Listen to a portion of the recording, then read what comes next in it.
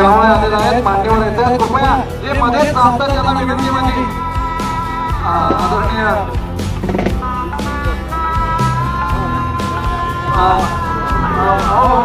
तुम्ही माझ्या बाजूने या तिकडे बाजूने.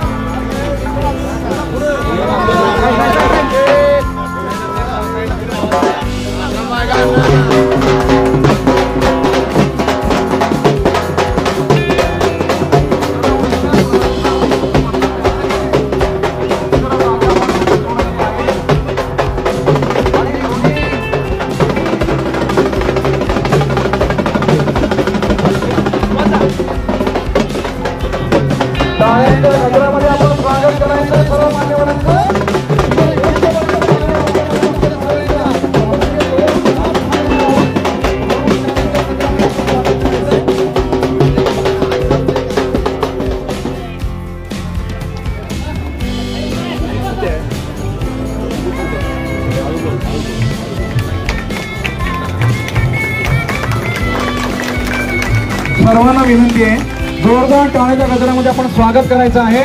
सर्वांनी जोरदार टाळ्यामधून आपण स्वागत करायचं आहे सन्माननीय आमदार उपमुख्यमंत्री महोदय देवेंद्रजी फडणवीस साहेबांचं स्वागत. साहेब आपला प्रदेश वर्ष या भूमीला झालेला आहे. ही क्रांतीची भूमी आहे. आज नऊ ऑगस्ट आहे आणि छत्रपती शिवरायांच्या विचारांचं पूर्ण होतंय. पत्रकारांना विनंती आपण बाजूला सांगायचंय पत्रकार थोडस मागे या. थोडस मागे या.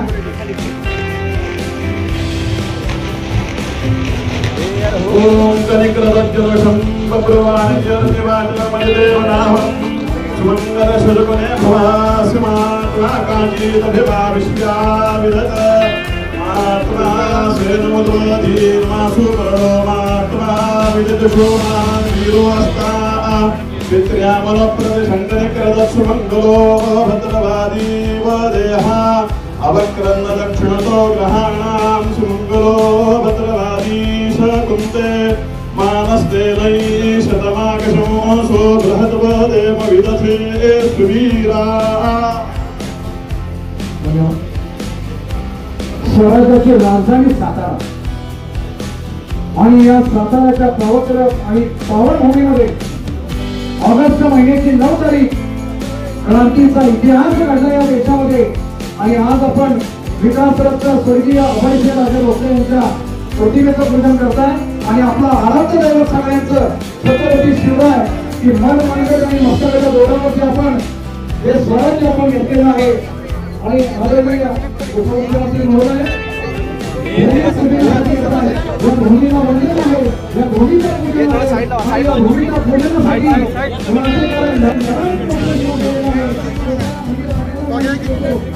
Thank you.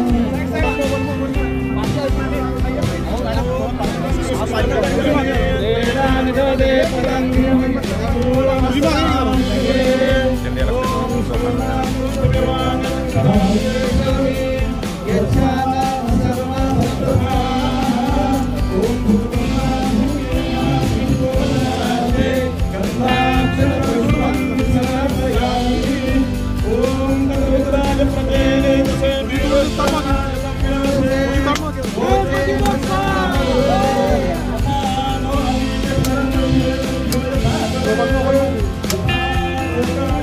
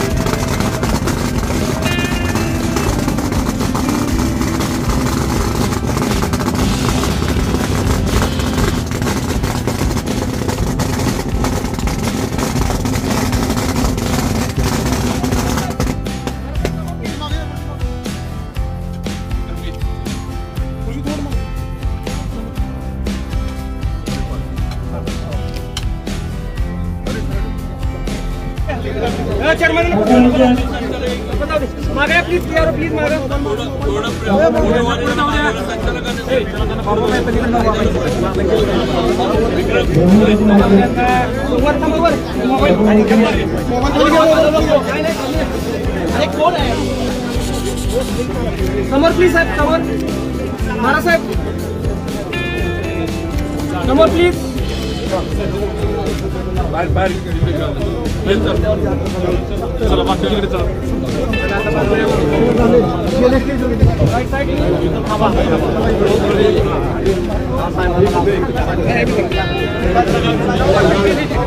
चला मी सन्माननीय आमदार श्रीमंत छत्रपती शिंदे साहेब आपला विनंती करतो की महाराष्ट्राचे लोकसेवा राज्य मुख्यमंत्री सन्माननीय आमदार देवेंद्रजी फडणवीस साहेबांचं आपण समस्त सातारकरांच्या वतीने मार्केट कमिटीच्या वतीने शेतकऱ्यांच्या माणसांच्या वतीने महिलांच्या वतीने आपण योग्य असा सत्कार करावा.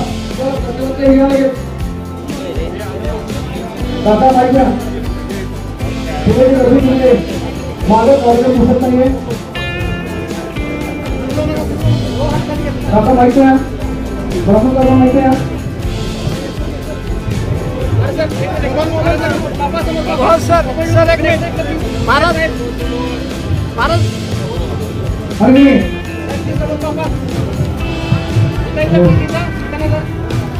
मी सन्मान्य आमदार शिवेंद्र सिंह बाबाला आपणास विनंती करतो की आपण कृषी उत्पन्न बाजार समिती सातारा याचा अनेक वर्षाचा कैलासवासी भाऊसाहेब महाराजांचं जे स्वप्न होतं ते आज स्वप्नपूर्ती देवेंद्र फडणवीस साहेब आपले नेते महाराष्ट्राचे उपमुख्यमंत्री यांच्या हस्ते भूमिपूजन होऊन खऱ्या अर्थानं हे स्वप्न साकार होण्याचा मार्ग हा आता निर्माण झालेला आहे किंवा सुरू झालेला आहे. मी देवेंद्रजी फडणवीस साहेबांचं मनापासून या ठिकाणी स्वागत करतो. साहेब आम्ही आज जो उपबाजार अभयसे महाराजांच्या नावाने इथं उभा करतोय थोडक्यात हे करतो जर वेळ घेणार नाही आपल्याला पुढचे कार्यक्रम आहेत मला कल्पना आहे.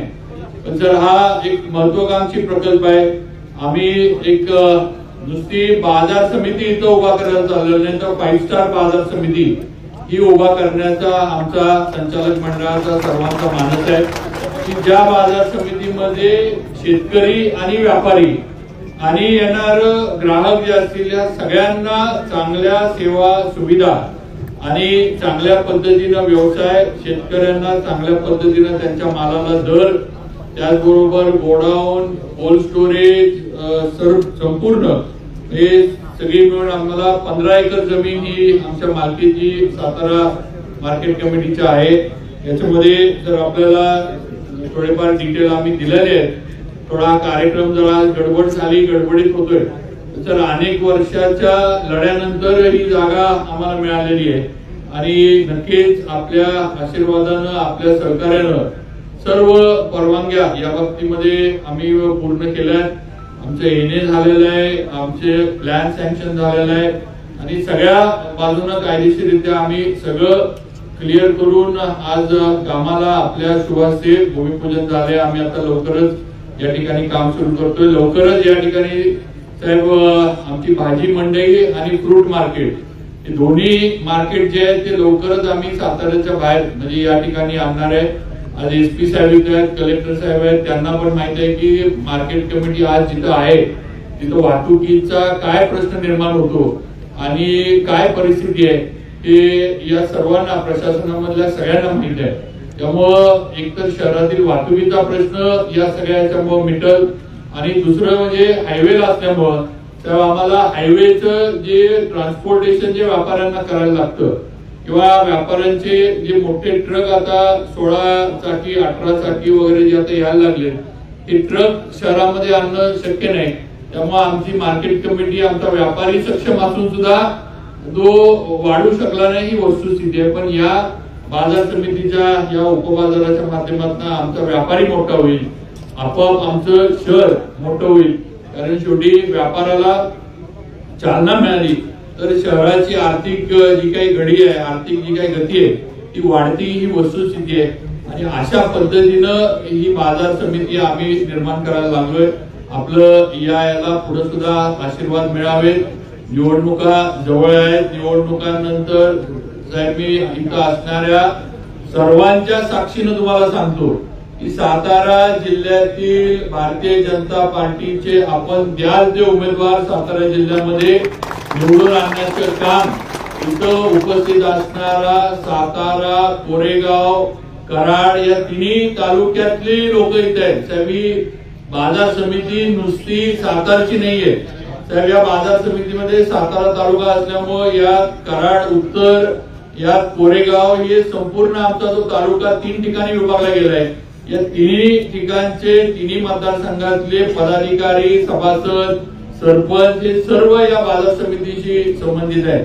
त्यामुळं नक्कीच आपल्या विश्वासाला आम्ही जसा लोकसभेला आपल्याला शब्द दिला आणि आम्ही सातारकरांनी तो खरा करून दाखवला आपण दिलेली जबाबदारी आम्ही पार पाडून दाखवली. तशीच विधानसभेला पण आम्ही जबाबदारी आपण द्याल ती आम्ही पार पाडू. हा शब्द माझ्या सर्व सहकाऱ्यांच्या समोर बसलेल्या स्टेजवर असणाऱ्या सर्वांच्या वतीनं साहेब मी आपल्याला देऊ इच्छितो साहेब आम्ही सगळेजण माझ्या सकट समोर बसलेले कैलासवासी अभयसिंह राजे भोसले यांच्या तालमीतनं म्हणा किंवा यांच्या मार्गदर्शनाखाली यांच्या विचारानं निर्माण झालेली ही सर्व कार्यकर्ते आणि नेते मंडळी आहेत. आणि त्यांना माहीत आहे की भाऊसाहेब महाराजांची एक सवय होती की एकदा शब्द दिला की शब्दापासून ते कधी फिरत नव्हते. साहेब माझे मामा आपल्याला माहीत असेल दादाराजे खर्डेकर हे दोनदा पवार साहेबांच्या एस काँग्रेसमधनं उभे होते. पण दोन्ही वेळेला साहेब काँग्रेसचे उमेदवार प्रतापराव भोसलेंना या तालुक्यानं तीस तीस चाळीस चाळीस मताधिक्य. माझे सख्खे मामा असताना सुद्धा महाराजांनी त्याला मिळवून दिलं होतं. त्यामुळे आम्ही पक्षाबरोबर आणि दिलेला शब्द जो आहे पक्षनिष्ठेशी काम करणारी आणि आपल्या नेतृत्वावर विश्वास ठेवणारे आम्ही सर्व कार्यकर्ते आहोत. आणि आपण द्या ती जबाबदारी आम्ही पार पाडू मार्केट कमिटीला आज तर नाही. साहेब आम्ही आपल्या आशीर्वादानं नक्कीच आम्ही सक्षम आहे. आपण तेवढं आम्हाला सक्षम केलंय त्यामुळं शक्यतो कर्ज न काढता हे सगळं कसं करता येईल हा प्रयत्न आम्ही नक्कीच करतोय. कारण कर्ज म्हणलं की हप्ते व्याज या गोष्टी वाढत जातात. त्यामुळे कर्ज न काढता आमच्या व्यापाऱ्यांना बरोबर घेऊन त्यांना विश्वासात घेऊन की मार्केट कमिटी कशी होईल हा प्रयत्न आम्ही करतोय. त्याच्यातनं थोडंफार आम्हाला काही कमी पडलं. तर आपण तेवढा हे हातभार जो आहे तो त्यावेळेला जर लागला आपला म्हणजे आशीर्वाद तर आपला पाहिजेच पण आर्थिक काय हातभार आम्हाला लागला तर गरज पडली तर आपल्यापर्यंत आम्ही नक्की येऊ. आपण तो आम्हाला त्यावेळेला सहकार्य करावं एवढी विनंती करतो. दुसरी एकच विनंती आहे साहेब की माझी दोन तीन म्हणजे चेअरमन जे आहेत ते त्यांचाही सत्कार आपल्या माध्यमातून व्हावा. कारण त्यांनी सुद्धा ही जागा मिळवण्यासाठी बरेच संघर्ष बऱ्याच कोर्ट कचेरी वगैरे सगळ्या गोष्टी केल्या होत्या. या संचालक मंडळाच्या काळात ही जागा जरी मिळाली असली तरी त्यांचं पण योगदान हे महत्वाचं आहे. त्यामुळे मी विनंती करतो ऍडव्होकेट लालासाहेब पवार यांचा सत्कार फडणवीस साहेबांनी करावा. त्याचबरोबर आपले दुसरे चेअरमन राजू भैया भोसले आणि आपले तिसरे चेअरमन किरण साबळे पाटील या तिघांचाही सत्कार मान्य फडणवीस साहेबांच्या हस्ते व्हावा एवढी विनंती करतो. परत एकदा साहेब आपण आला आपलं मनापासून सातारा उत्पन्न बाजार समितीच्या वतीनं स्वागत करतो.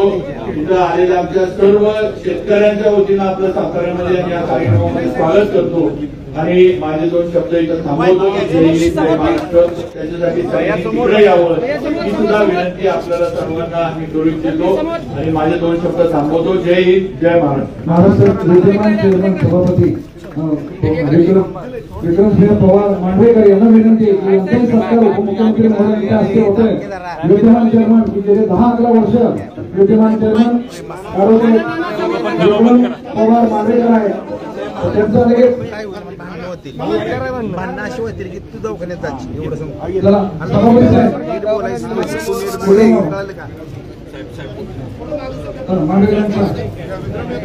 का विद्यमान चेअरमनचा काय ते इकडे जाते म्हणलं मागे बाबा समोर समोर समोर उपस्थित सर्व शेतकरी व्यापारी भगिनी आणि बंधूंनो आज ही खूप आनंदाची गोष्ट आहे की साताऱ्यामध्ये कृषी उत्पन्न बाजार समितीच्या या अतिशय भव्य उपबाजाराची निर्मिती त्याचं भूमिपूजन या ठिकाणी होत आहे. आणि ज्यांनी विकासाचा वारसा साताऱ्याला दिला ते श्रीमंत छत्रपती अभयसिंह राजे भोसले यांच्या नावाने ही बाजार समिती या ठिकाणी ओळखली जाणार आहे.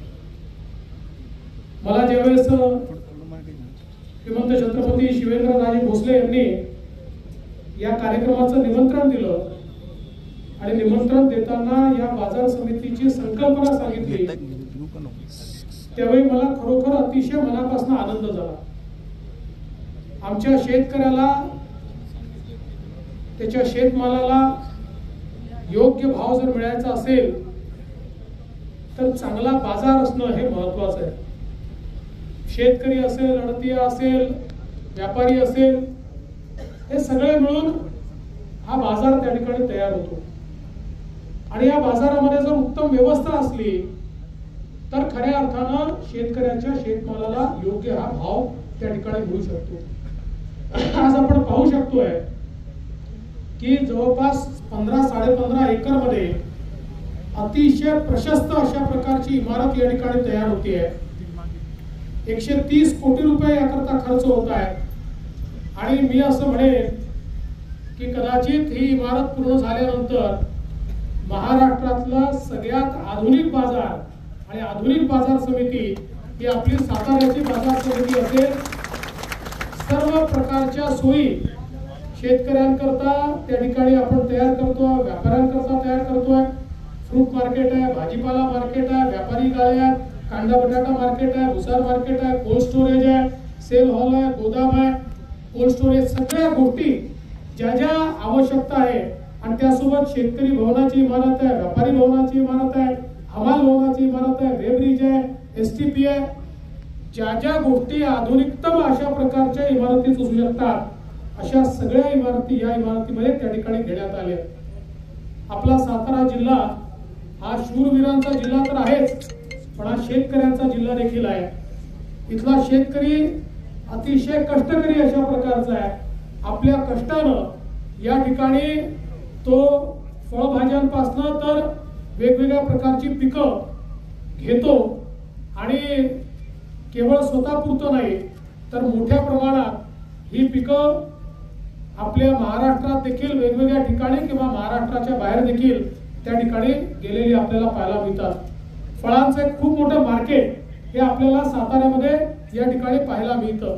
आणि म्हणून अशा सगळ्या गोष्टींकरता जर एक उत्तम मार्केट मिळालं तर शेतकऱ्यांना दोन पैसे जास्त मिळतात त्याला चांगली सोय मिळते त्याला हक्काची सोय मिळते. मी शिवेंद्र बाबा आपलं मनापासून अभिनंदन करेन की अतिशय चांगली संकल्पना या ठिकाणी आपण मांडली.